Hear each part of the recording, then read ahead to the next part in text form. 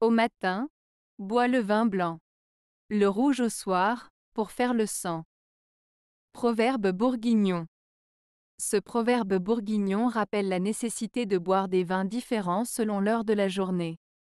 Boire du vin blanc le matin peut aider à stimuler le système digestif et à se réveiller, tandis que boire du vin rouge le soir peut avoir des propriétés plus relaxantes et aider à la production de sang.